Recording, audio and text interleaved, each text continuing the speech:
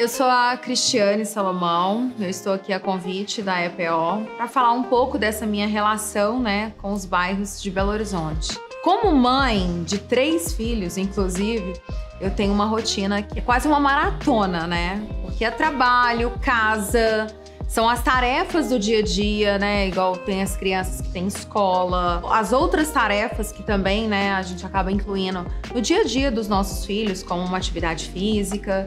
Então, isso tudo envolve é, um planejamento. Ter um bairro que proporciona a você lazer, uma farmácia próxima da sua casa, supermercado. Isso tudo facilita muito. As escolas, né? Boas escolas. Igual, por exemplo, busco meu filho na escola, logo em seguida eu já posso passar no shopping. Tem o Diamond, que é próximo. Do Diamond, já posso levá-lo na praça ali da Assembleia, que é bem pertinho. À tarde, eu posso encontrar com, com a, amigas e ir para uma cafeteria.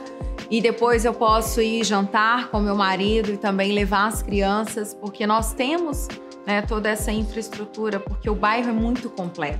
O que não falta também, além de tudo isso, dessa estrutura, é a questão do lazer. Falo que é super completo, a gente nem precisa sair dos bairros para isso. E só de transitar por esses bairros, a gente já percebe a qualidade de vida, a praticidade que ele oferece, né? E a EPO, ela tem uma excelência nos seus projetos e esse empreendimento Arthur Bernardes, ele está vindo realmente com uma proposta muito inovadora. Tem uma estrutura completa interna de lazer, né, de serviços que nós vamos ter, mas também o bairro, uma infraestrutura maravilhosa, né?